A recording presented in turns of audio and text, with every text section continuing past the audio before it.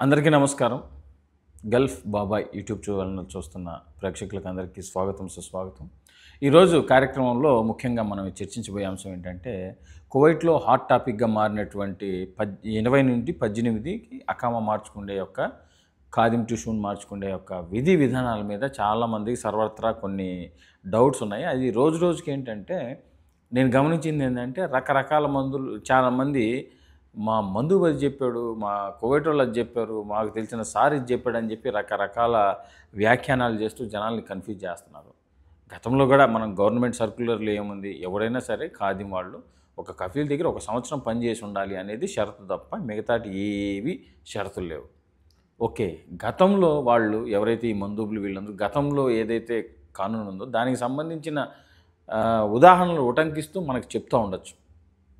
So కాబట్టి ఇవన్నీ ఒక కొట్టిపడేద్దాము ఇది కాదు విషయం అసలైన విషయం ఏంటి అని చెప్తా అలా- అలా చెప్పాలి అనుకున్నది ఈ యొక్క వీడియో యొక్క సారాంశం అనమాట సో కాబట్టి ముఖ్యంగా ఈ వీడియో చివరి వరకు చూడండి. సో మధ్య మధ్యలో నేను కొన్ని గవర్నమెంట్కి సంబంధించిన క్లిప్పులు కూడా ఇందులో యాడ్ చేస్తాను.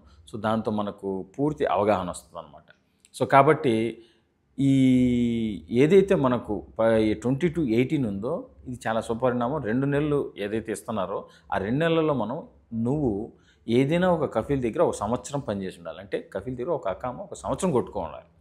సో కాబట్టి సంవత్సరం కొట్టుకుంటే తర్వాత నువ్వు తనాజులు తీసుకుంటే అది వేరే కంపెనీకి నువ్వు షిఫ్ట్ అవ్వచ్చు. కానీ దీని ప్రాసెస్ ఎలా ఉంటుందనేది టెక్నికల్ డీటెయిల్స్ దగ్గర నేను ఇప్పుడు చెప్తాను في عندنا اتصال مع القوى العاملة طبعا آه، لأن في موضوع نبي نتكلم عنه اللي هو تحويل ال- ال- العمالة فعندنا نبي نتكلم عن القرار مع ضيفنا مساعد المطيري نائب مدير عام شؤون العمالة بالتكليف الهيئة العامة للقوى العاملة مساك الله بالخير أخوي مساعد شلونك؟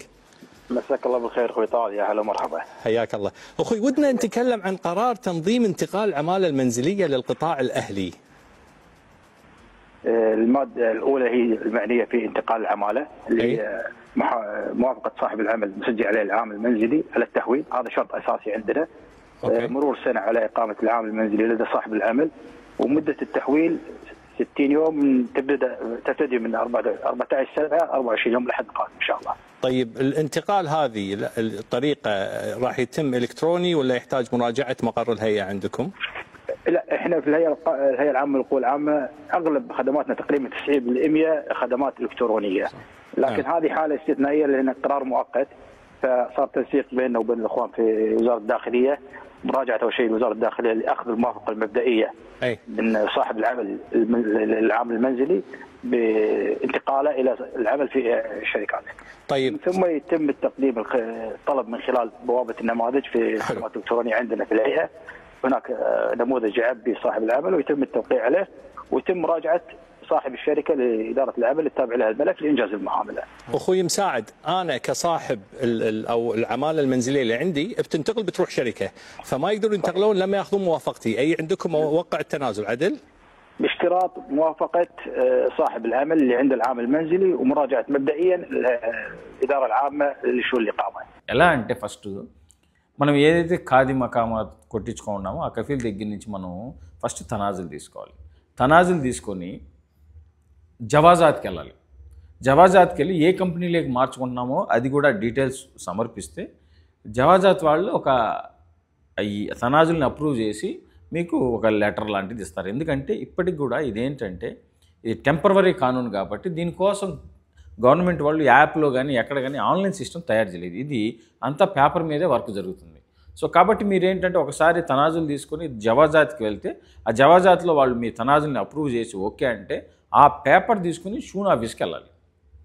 అప్పుడు ఆ పేపర్ని చూసి షూన్ ఆఫీస్ వాళ్ళు ఏం చేస్తారంటే మీకు అగ్రిమెంట్ రెడీ చేస్తారు అదే ఎజనాబిల్ అంటారు కదా ఎజనాబిల్ ఏంటి? ఆ కంపెనీకి నీకు మధ్య ఉండే లావాదేవీలు జీతం ఎంత ఏం పని చేయబోతున్నావు ఎన్ని డీటెయిల్స్ ఉండి ఎజనామిల్ అంటారు. అది షూన్కు సంబంధించిన వాళ్ళ ఆఫీసులో ఈ పని జరుగుతుంది వాళ్ళు ఒకసారి ఎజనామల్ ఇచ్చిన తర్వాత నువ్వు మళ్ళా జవజాతికి వెళ్తే నీ అకామా అనేది పాస్పోర్ట్లో లేదా ఆన్లైన్లో నీ అకామా తగులుద్ది. ఇది ప్రాసెస్. సో కాబట్టి నేను చెప్పింది ఎగ్జాక్ట్లీ జరుగుతుంది కాబట్టి అటు ఇటు కొంచెం తేడా ఉండొచ్చు అనమాట ఇవన్నీ ఎక్కడ తెలుస్తాయి? జవాజాద్ దగ్గర ఉండే ప్రింట్ టైపింగ్ చేసేవాళ్ళు షూన్ దగ్గర ఉండే టైపింగ్ చేసేవాళ్ళు ఈ వివరాలన్నీ కరెక్ట్గా కనుక్కొని ఆ రోజుటికి ఏ ఫామ్ అయితే ఉందో ఆ ఫామ్ని ఒకటి తయారు చేసి ఆ ఫామ్ ద్వారా మనం ఈ ప్రాసెస్ కంప్లీట్ చేయాలన్నమాట. సో చాలామంది ఏంటంటే ఈ ట్రెండింగ్ టాపిక్ కదా సో కాబట్టి మీరు జాగ్రత్తలు వహించండి. ఇంకొంతమంది ఏదైతే ఎవరికైతే అవకాశం ఉండదో వాడికి కొంచెం కోపం ఉంటుంది. వాడు మిమ్మల్ని అందరినీ కాదిమూలం తీసుకెళ్ళి పట్టేసుకుంటారని అలా ఏం జరగదు. మొన్నటి వరకు రీసెంట్గా మనం ఏదైతే కువైట్ నుంచి ఈ కానూన్లో వెళ్ళారో వాళ్ళందరినీ కూడా రేపు సోమవారం సోమవారం నుంచి మొత్తం అందరి బ్లాక్లు క్లియర్ చేస్తున్నారు ఎవరైనా కోవిడ్కి మళ్ళీ తిరిగి రావచ్చు అని చెప్పి. దాదాపు డెబ్బై వేల మంది ఈ యొక్క కానూన్ని సద్వినియోగం చేసుకున్నారని చెప్పి స్వయంగా ఎవరైతే హోంశాఖ మంత్రి గారు ఉన్నారో ఆయన స్వయంగా ప్రకటించాడు. సో కాబట్టి అపోహలకు వాటికి వీటికి ఈ టిక్ టాక్లు వీడియోలు వ్యూస్ కోసం పెట్టే వాళ్ళని దయచేసి నమ్మొద్దు. ఇప్పుడు అంటే నువ్వు కూడా టిక్ టాక్లో చెప్తుంటావు కదా అని మీకు రావచ్చు. కానీ మేము ఏదైనా ఒక విషయం చెప్పేటప్పుడు దాని వెనక పక్క ఉండే విధి విధానాలు ఒక మీడియా గ్రూప్లో చర్చ జరుగుతుంది. ఈ తప్ప ఉప్ప తర్వాత చేసిన దాని మీద కొంచెం అనాలిసిస్ ఉంటుంది. ఇవన్నీ చేసి మీ మొదలుకి తీసుకురావడం జరుగుతుంది. ఏదో బాబా చెప్పాడు మామ చెప్పాడు అని చెప్పి లేకుంటే వాళ్ళెవరో చెప్పారు వీళ్ళెవరో చెప్పారని చెప్పి కాదు. ఇప్పుడు మందూబ్ అంటారు. మందూబ్ ఏం పెద్ద ఎంబీబీఎస్ చేసినోడు లేకుంటే ఎండి ఏమంటారు? ఎంబీఏ చేసినోడు కాదు మందు. మందూబ్ కూడా నీలాగా నాలాగా చిన్న చిన్న చదువులు చదువుకొని మందు పని చేసేవాళ్ళు వాళ్ళకి కూడా మిడిమిడి జ్ఞానం ఉంటుంది. వాళ్ళేం పెద్ద ఊహా ఊహాజనిత శక్తులు ఉండే వాళ్ళు అయితే కాదు. సో కాబట్టి వాళ్ళు చెప్పిన మాట వేదమంత్రాలని అనుకోవద్దు ఎప్పుడు కూడా. సో మనకేది ఒక ఓకే మనకి ఏదైనా ఒక డౌట్ వచ్చింది. సరే వెంటనే ఆ వెబ్సైట్లోకి లేదా ఆ ఇన్స్టాగ్రామ్ పేజ్కి లేదా ఆ ట్విట్టర్ పేజ్లోకి వెళ్ళి కన్ఫర్మ్ చేసుకొని రీచెక్ చేసుకోవచ్చు. సో కాబట్టి కానూన్ గురించి చాలా జాగ్రత్త వహించండి. సో కాబట్టి ఈ ఈ యొక్క వీడియో మీకు తెలిసిన వాళ్ళందరికీ షేర్ చేయండి. ఎవరు భయపడొద్దు. ఇది చాలా ఈజీ సరళతరం చేసేసారు ఒక్క సంవత్సరం ఒక కఫీల్ దగ్గర ఉంటే చాలు నువ్వు ఏ కంపెనీలోకైనా మారచ్చు. సో ఇంకొక విషయం ఏంటంటే చాలామంది పనులు పనులు పనులు పనులు కావాలని అడుగుతూ చాలామంది ఎక్కడ చూసినా మెసేజ్లు పెడుతున్నారు. పనులు కావాలని అడిగే వాళ్ళకంటే పనులకు ఇచ్చేవాళ్ళు ఎవ్వరు లేరు అసలు. పనులు కావాలి అని అడిగే వాళ్ళు ఎక్కువ ఉన్నారు ఈ ప్రాబ్లం ఏంటంటే చాలామంది మనం గతంలో చేసిన తప్పులు ఏంటంటే బయట వీసా కొనుక్కొని మనం ఏదో పని ఎత్తుక్కుంటే సో మనం అడిగినంత డిమాండ్ చేయొచ్చు లేకపోతే ఇంకో చోటకి వెళ్ళిపోవచ్చు అని చెప్పి భ్రమతో మనం అంతా ఏంటంటే బయట వీసాలు కొనుక్కొని వచ్చేసాం. ఇప్పుడు ప్రస్తుతం కువైట్ రూల్స్ బాగా టైట్ చేసేయడంతో ఎవ్వరు కూడా బయట వాళ్ళని పనిలో పెట్టుకోవడానికి సాహసం చేయట్లేదు. ఎందుకు చేయట్లేదంటే పొరపాటు నువ్వు పట్టుబడినా లేకపోతే ఏదైనా చేసినా మొత్తం కంపెనీనే బ్లాక్ చేసేస్తున్నారు.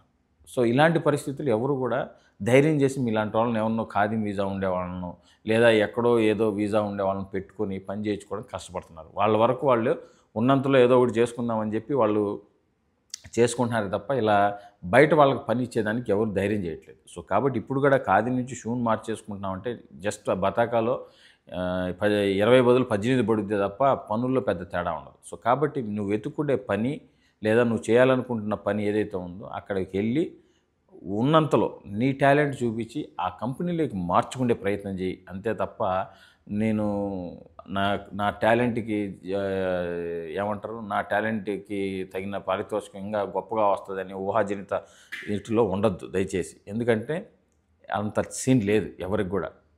ఎవరికైనా అవకాశం ఉంది అంటే ఎవరికి బాగా చదువుకున్న టెక్నీషియన్లు లేదా చేతిలో పని ఉండి నువ్వు శాసించగలిగితే ఉంటుంది కానీ నేనేదో రాజంపేట నుంచి వచ్చేసాను కోడూరు నుంచి వచ్చేసాను రాయచోటు నుంచి వచ్చేసాను అని చెప్పి ఇక్కడికి వచ్చి పనులు చేస్తానంటే చాలా కష్టమైపోద్ది. సో దయచేసి ఎక్కడైనా ఒకసారి పనిలో విరుక్కుంటే ఆ కంపెనీలోనే పనిచేస్తూ ఆ కంపెనీలోకి అకామం మార్చుకొని చాలా స్ట్రైట్ ఫార్వర్డ్గా పని చేసుకునేదానికి ప్రయత్నం చేయండి. సో ఇది నా ఉచిత సలహా అనుకోండి.